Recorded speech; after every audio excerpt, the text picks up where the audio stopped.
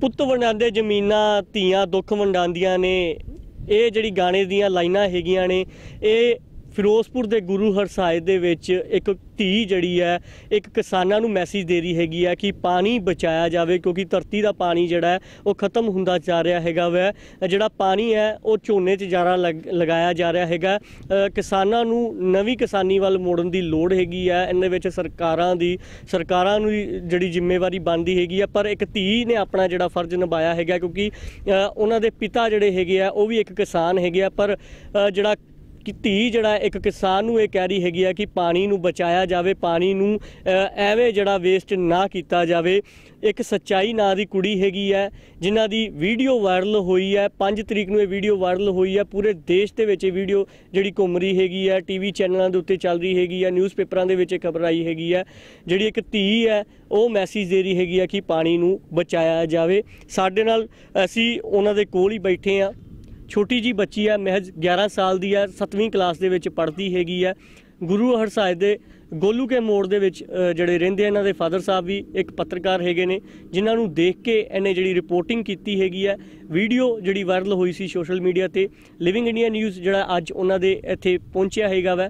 ਗੱਲਬਾਤ ਕਰਦੇ ਆ ਬੱਚੇ ਦੇ ਨਾਲ ਕਿ ਉਹਨਾਂ ਨੂੰ ਇਹ ਚੀਜ਼ ਕਿੱਥੋਂ ਜਿਹੜੀ ਸੁੱਧ ਲੱਗੀ ਹੈਗੀ ਹੈ ਕਿਉਂ ਮੈਸੇਜ ਲੋਕਾਂ ਨੂੰ ਜਿਹੜਾ ਦੇ ਰਹੇ ਹੈਗੇ ਆ। ਬੱਚੇ ਕੀ ਨਾਮ ਹੈ ਤੁਹਾਡਾ? ਮੇਰਾ ਨਾਮ ਸਚਾਈ ਥਿੰਦਾ ਹੈ। ਕਿਹੜੀ ਕਲਾਸ 'ਚ ਪੜ੍ਹਦੇ ਹੋ? ਮੈਂ 7ਵੀਂ ਕਲਾਸ ਵਿੱਚ ਪੜ੍ਹਦੀ ਹਾਂ। ਕਿੰਨੀ ਉਮਰ ਹੈ? ਮੇਰੀ ਉਮਰ 11 ਸਾਲ ਹੈ। ਤੁਹਾਡੀ ਇੱਕ ਵੀਡੀਓ ਵਾਇਰਲ ਕਾਫੀ ਹੋ ਰਹੀ ਸੀ ਜਿੰਦੇ ਵਿੱਚ ਤੁਸੀਂ ਇੱਕ ਰਿਪੋਰਟਿੰਗ ਕਰ ਰਹੇ ਸੀ ਬੋਲ ਰਹੇ ਹੈਗੇ ਸੀ ਕੀ ਬੋਲ ਰਹੇ ਸੀ? ਹਾਂਜੀ, ਮੇਰੀ ਵੀਡੀਓ ਵਾਇਰਲ ਹੋਈ ਸੀ। ਉਸ ਵਿੱਚ ਮੈਂ ਕਿਸਾਨਾਂ ਨੂੰ ਇਹ ਮੈਸੇਜ ਦਿੱਤਾ ਸੀ ਕਿ ਪਾਣੀ ਦੀ ਬਚਤ ਕਰਨੀ ਚਾਹੀਦੀ ਹੈ। ਔਰ ਮੈਂ ਤੁਹਾਨੂੰ ਬੋਲ ਕੇ ਦਿਖਾਉਂਦੀ ਹਾਂ। ਮੈਂ ਹਾਂ ਨੰਨੀ ਪੱਤਰਕਾਰ। ਮੈਂ ਤੁਹਾਡੇ ਨਾਲ ਜੁੜੀ ਹਾਂ। ਇੱਕ ਆਮ ਮੁੱਦਾ ਲੈ ਕੇ ਆ ਤੁਸੀਂ ਦੇਖ ਰਹੇ ਹੋ ਝੋਨਾ ਲਾਉਂਦਾ ਹੈ। ਕਿਸਾਨ ਇੰਨੀ ਮਿਹਨਤ ਨਾਲ ਇਹਨੂੰ ਬੀਜਦੇ ਨੇ। ਪਹਿਲੇ ਪਨੀਰੀ ਉਗਾਈ ਜਾਂਦੀ ਪਨੀਰੀ ਵਿੱਚ ਝੋਨਾ ਲਗਾਇਆ ਜਾਂਦਾ ਹੈ। ਝੋਨਾ ਲਗਾਉਣ ਤੋਂ ਬਾਅਦ ਕਿਸਾਨ ਇਹਨੂੰ ਦਾਣਾ ਮੰਡੀ ਵਿੱਚ ਵੇਚਦੇ ਨੇ। ਦਾਣਾ ਮੰਡੀ ਦੇ ਵੇਚਣ ਤੋਂ ਬਾਅਦ ਕਿਸਾਨ ਦੇ ਬਹੁਤ ਪੈਸੇ ਆਉਂਦੇ ਨੇ, ਜਿੰਦੇ ਨਾਲ ਉਹਦਾ ਘਰ ਬਸਾਉਂਦੇ ਨੇ। ਹੁਣ ਮੈਂ ਬੱਚੀ ਕੋ ਪੁੱਛਣ ਜਾ ਰਹਾ ਕਿ ਉਹਦੇ ਪਿਤਾ ਜੀ ਕਿਵੇਂ ਕਰਦੇ ਨੇ? ਤੁਹਾਡੇ ਪਿਤਾ ਜੀ ਕਿਵੇਂ ਕਰਦੇ ਨੇ? ਮੇਰੇ ਪਿਤਾ ਜੀ ਝੋਨਾ ਲ- ਲਗਾ ਕੇ ਅ, ਦਾਣਾ ਮੰਡੀ ਵਿੱਚ ਵੇਚਦੇ ਹਨ। ਜਦ ਮੇਰੇ ਪਿਤਾ ਜੀ ਕੋਲ ਪੈਸੇ ਆਉਂਦੇ ਹਨ ਉਹ ਫਲ ਕੱਪੜੇ ਵਗੈਰਾ ਲੈਂਦੇ ਹਨ। ਸੁਣਾ ਅਸੀਂ ਐਵੇਂ ਹੀ ਮੈਂ ਸਰਕਾਰ ਨੂੰ ਇਹ ਅਪੀਲ ਕਰਾਂਗੀ ਕਿ ਪਾਣੀ ਦੀ ਬਚਤ ਕੀਤੀ ਜਾਵੇ ਤੇ ਪਾਣੀ ਦੀ ਵੇਸਟੇਜ ਘੱਟ ਕੀਤੀ ਜਾਵੇ। ਅਗਰ ਆਪਾਂ ਪਾਣੀ ਦੀ ਵੇਸਟੇਜ ਕਰਾਂਗੇ ਤਾਂ ਇੱਕ ਦਿਨ ਇਹ ਪੰਜਾਬ ਰੇਗਿਸਤਾਨ ਬਣ ਜਾਏਗਾ। ਤਾਂ ਮੇਰੀ ਸਰਕਾਰ ਅਤੇ ਕਿਸਾਨਾਂ ਨੂੰ ਇਹ ਅਪੀਲ ਹੈ ਕਿ ਸਾਰਿਆਂ ਨੂੰ ਅੱਗੇ ਆਉਣਾ ਚਾਹੀਦਾ ਹੈ ਤੇ ਪਾਣੀ ਨੂੰ ਵੇਸਟ ਕਰਨ ਤੋਂ ਰੋਕਣਾ ਚਾਹੀਦਾ ਹੈ। ਮੈਂ ਸਚਾਈ ਥਿੰਕ ਕੈਮਰਾਮੈਨ ਰੋਹਾਨ ਥਿੰਦ ਦੇ ਨਾਲ ਨੰਨੀ ਪੱਤਰਕਾਰ ਗੁਰੂ ਹਸਾਏ ਬਿਲਕੁਲ, ਤੁਸੀਂ ਆ ਜਿਹੜਾ ਸੁਣਿਆ ਹੈਗਾ ਕਿ ਇੱਕ ਛੋਟੀ ਜੀ ਬੱਚੀ ਜਿਹੜਾ ਰਿਪੋਰਟਿੰਗ ਲਾਈਨ ਦੀ ਜਿਹੜੀ ਸਿੱਖ ਕੇ ਮੈਸੇਜ ਕਿੱਦਾਂ ਦੇ ਰਹੀ ਹੈਗੀ ਹੈ? ਤਿੰਨ ਮੈਂਬਰਾਂ ਦੀ ਇਹਨਾਂ ਦੀ ਟੀਮ ਹੈਗੀ ਹੈ। ਸੱਚਾਈ ਗੁਰਨਾਜ਼ ਤੇ ਰੂਹਾਨ। ਜਿਹੜਾ ਰੂਹਾਨ ਹੈ, ਉਹ ਜਿਹੜਾ ਕੈਮਰਾ ਚਲਾਉਂਦਾ ਹੈ। ਗੁਰਨਾਜ਼ ਜਿਹੜਾ ਮੈਸੇਜ ਦਿੰਦੀ ਹੈ ਤੇ ਸੱਚਾਈ ਜਿਹੜੀ ਹੈ, ਉਹ ਜਿਹੜੀ ਐਂਕਰਿੰਗ ਕਰਦੀ ਹੈਗੀ ਹੈ। ਬੜਾ ਵਧੀਆ ਮੈਸੇਜ ਜਿਹੜਾ ਇਹ ਦਿੱਤਾ ਹੈਗਾ, ਕਿਉਂਕਿ ਅੱਜ ਦੀ ਨੌਜਵਾਨ ਪੀੜ੍ਹੀ ਨੂੰ ਇਹ ਲੋੜ ਹੈਗੀ ਹੈ ਕਿ ਉਹਨਾਂ ਨੂੰ ਵੀ ਪਤਾ ਹੋਵੇ ਕਿ ਪਾਣੀ ਨੂੰ ਕਿੱਦਾਂ ਬਚਾਇਆ ਜਾ ਸਕਦਾ ਪਰ ਇਹ ਬੱਚੇ ਜਿਹੜਾ ਛੋਟਾ ਜਿਹਾ ਮੈਸੇਜ ਦੇ ਨਾਲ ਮੈਸੇਜ ਜਿਹੜਾ ਦੇ ਰਹੇ ਹੈਗੇ ਆ, ਲੋਕਾਂ ਨੂੰ ਦੇ ਰਹੇ ਆ, ਸਰਕਾਰ ਨੂੰ ਦੇ ਰਹੇ ਆ, ਕਿਸਾਨਾਂ ਨੂੰ ਦੇ ਰਹੇ ਆ ਕਿ ਪਾਣੀ ਦੀ ਬਚਤ ਸਾਨੂੰ ਕਰਨੀ ਚਾਹੀਦੀ ਹੈਗੀ ਆ। ਤੁਸੀਂ ਵੱਡੇ ਹੋ ਕੇ ਕੀ ਬਣਨਾ ਚਾਹੁੰਦੇ ਹੋ? ਮੈਂ ਵੱਡੇ ਹੋ ਕੇ ਆਪਣੇ ਪਿਤਾ ਜੀ ਤਰ੍ਹਾਂ ਇੱਕ ਅੱਛੀ ਪ੍ਰੈਸ ਰਿਪੋਰਟਰ ਬਣਨੀ ਚਾਹੁੰਦਾ ਹਾਂ ਕਿ ਮੇਰੇ ਪਿਤਾ ਜੀ ਇੱਕ ਨੀਡਰ ਰਿਪੋਰਟਰ ਹੈਗੇ ਨੇ।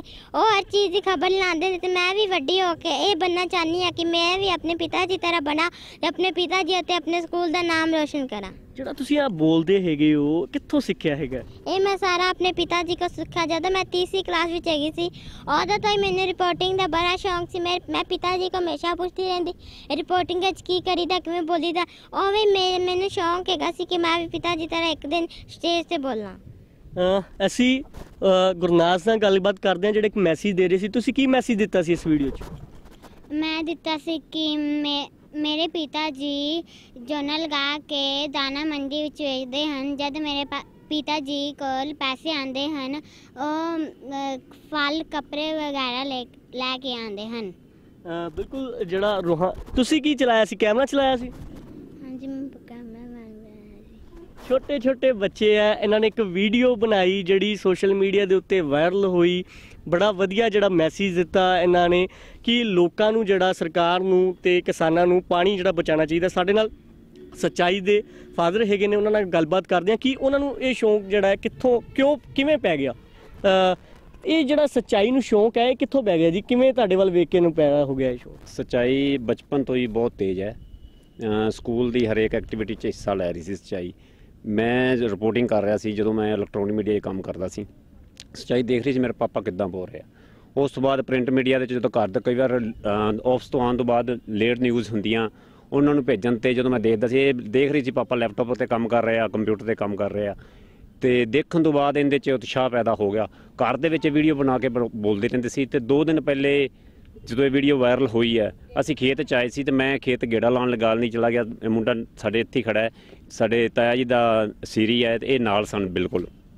ਇਹਨਾਂ ਨੇ ਕੀ ਦੇਖਿਆ ਵੀ ਉਹਨਾਂ ਦੇ ਮੋਬਾਈਲ ਦੇ ਵਿੱਚ ਵੀਡੀਓ ਬਣਾ ਕੇ ਮੈਂ ਦੇਖਿਆ ਜਦੋਂ ਵੀਡੀਓ ਬਹੁਤ ਵਾਰੀ ਬਣੀ। ਉਹ ਵੀਰ ਤੋਂ ਮੈਂ ਮੋਬਾਈਲ ਦੇ ਵਿੱਚ WhatsApp ਤੇ ਵੀਡੀਓ ਲੈਣ ਤੋਂ ਬਾਅਦ ਸੋਸ਼ਲ ਮੀਡੀਆ ਤੇ ਵਾਇਰਲ ਹੋ ਗਈ ਤੇ ਵਾਇਰਲ ਹੋਣ ਤੋਂ ਬਾਅਦ ਇੰਨਾ ਨਹੀਂ ਪਤਾ ਸੀ ਵੀ ਇਹ ਨੈਸ਼ਨਲ ਚੈਨਲ ਨੇ ਇੰਟਰਨੈਸ਼ਨਲ ਚੈਨਲ ਇੱਥੋਂ ਤੱਕ ਕਿ ਬਾਹਰਲੇ ਚੈਨਲਾਂ ਤੇ ਵੀ ਵੀਡੀਓ ਜਿਹੜੀ ਹੈ ਪੂਰੀ ਛਾਈ ਹੋਈ ਹੈ। ਸੱਚਾਈ ਦੇ ਵਿੱਚ ਕੁਝ ਕਰਨ ਦੀ ਕਲਾ ਹੈਗੀ ਹੈ, ਉਹ ਮੈਂ ਦੇਖ ਰਿਹਾ। ਤੁਸੀਂ ਇਹਨੂੰ ਵੱਡੇ ਹੋ ਕੇ ਕੀ ਬਣਾਉਣਾ ਚਾਹੁੰਦੇ ਹੋ? ਦੇਖੋ ਮੈਂ ਤੇ ਸਭ ਤੋਂ ਪਹਿਲੇ ਚਾਹੁੰਦਾ ਬੱਚੇ ਦਾ ਐਜੂਕੇਸ਼ਨ ਜਿਹੜੀ ਹੈਗੀ ਆ ਉਹ ਵਧੀਆ ਹੋਣੀ ਚਾਹੀਦੀ ਹੈ ਮੇਰਾ ਜਿਹੜਾ ਪ੍ਰੋਪਰ ਧਿਆਨ ਬੱਚੇ ਦੀ ਐਜੂਕੇਸ਼ਨ ਵੱਲ ਹੈ।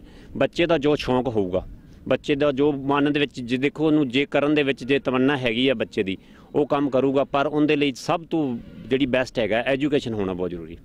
ਕੀ ਪੱਤਰਕਾਰੀ ਫੀਲਡ 'ਚ ਇਹਨੂੰ ਉਤਾਰੋਗੇ? ਪੱਤਰਕਾਰੀ ਫੀਲਡ ਦੇ ਵਿੱਚ ਉਤਾਰਨ ਤੇ ਹਾਲੇ ਤੱਕ ਜਿਹੜਾ ਹੈਗਾ ਬੱਚੇ ਤੇ ਡਿਪੈਂਡ ਹੈਗਾ, ਬੱਚਾ ਕੀ ਕਰਨਾ ਚਾਹੁੰਦਾ ਹੈਗਾ? ਮੇਰਾ ਜਿਹੜਾ ਧਿਆਨ ਹੈਗਾ ਬੱਚੇ ਦੇ ਐਜੂਕੇਸ਼ਨ ਵੱਲ ਹੀ ਹੈ। ਬੱਚਾ ਐਜੂਕੇਸ਼ਨ ਦਾ ਐਕਟੀਵਿਟੀ 'ਚ ਹਿੱਸਾ ਲੈ ਰਹੀ ਹੈ, ਪਿੱਛੇ ਜਿਹੜੀ ਹੈਗੀ ਤਾਈਕਵਾਂਡੋ 'ਚ ਮੈਡਲ ਲੈ ਕੇ ਆਈ ਹੈ। ਸਕੂਲ ਦੀ ਹਰੇਕ ਜੋ ਫੰਕਸ਼ਨ ਹੈਗੇ ਆ ਸੱਭਿਆਚਾਰ ਫੰਕਸ਼ਨ ਹੈਗੇ ਉਹਨਾਂ 'ਚ ਹਿੱਸਾ ਲੈ ਰਹੀ ਹੈ ਲਗਭਗ 3 ਸਾਲ ਦੀ ਸੀ ਤਾਂ ਇੱਕ ਸਾਡੇ ਇੱਥੇ ਗੁਰੂ ਹਰਸਾਏ ਦੇ ਵਿੱਚ ਜਿਹੜਾ ਸਕੂਲਾਂ ਦਾ ਕੰਪੀਟੀਸ਼ਨ ਸੀ 15 ਅਗਸਤ ਤੇ। 15 ਅਗਸਤ ਤੇ ਸਚਾਈ ਦੀ ਟੀਮ ਜਿਹੜੀ ਹੈਗੀ ਸੀ ਫਸਟ ਆਈ ਸੀ। ਮੈਨੂੰ ਉਦੋਂ ਤੋਂ ਪਤਾ ਚੱਲ ਗਿਆ ਸੀ ਬੱਚਾ ਕੁਝ ਕਰ ਸਕਦਾ। ਤੁਸੀਂ ਖੇਤੀ ਵੀ ਨਾਲ ਕਰਦੇ ਹੋ? ਮੈਂ ਬਿਲਕੁਲ ਖੇਤੀ ਕਰ ਰਿਹਾ ਇੱਕ ਕਿਸਾਨ ਦਾ ਪੁੱਤ ਹੈਗਾ ਖੇਤੀ ਕਰ ਰਿਹਾ। ਪਰ ਮੈਂ ਇੱਕ ਗੱਲ ਕਹਿਣ ਦੇਖ ਰਿਹਾ ਸਾਂ ਖੇਤੀ ਦੇ ਵਿੱਚ ਕੀ ਹੈਗਾ ਖੇਤੀ ਜਿਹੜੀ ਹੈਗੀ ਹੈ ਦਿਨੋਂ ਦਿਨ ਜਿਹੜਾ ਕਿਸਾਨਾਂ ਲਈ ਲਾਹੇਵੰਦ ਧੰਦਾ ਨਹੀਂ ਰਹਿ ਰਿਹਾ। ਕਾਰਨ ਕੀ ਹੈਗੇ ਪਾਣੀ ਦਾ ਪੱਧਰ ਦਿਨੋਂ ਦਿਨ ਨੀਵਾਂ ਜਾ ਰਿਹਾ। ਹਰ ਸੀਜ਼ਨ ਦੇ ਵਿੱਚ ਅਸੀਂ ਦੇਖਦੇ ਹਾਂ, ਖੁਦ ਖੇਤਾਂ ਦੇ ਵਿੱਚ ਕੰਮ ਕਰਦੇ ਹਾਂ। 10 ਫੁੱਟ ਜਿਹੜਾ ਹੈਗਾ ਪਾਣੀ ਦਾ ਲੈਵਲ ਹਰ ਵਾਰ ਥੱਲੇ ਜਾ ਰਿਹਾ। ਸਾਡੇ ਸਮਰਸੀਵਲ ਪਹਿਲਾਂ ਮੈਂ ਜਦੋਂ ਛੋਟਾ ਸੀ ਤੇ ਬਿਲਕੁਲ ਮੋਟਰਾਂ ਉੱਪਰ ਹੁੰਦੀਆਂ ਸੀ। ਸਾਡੇ ਫਾਦਰ ਸਾਹਿਬ ਖੇਤੀ ਕਰਦੇ ਸੀ।